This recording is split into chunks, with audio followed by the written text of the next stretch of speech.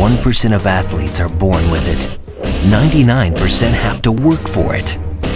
Are you ready to work?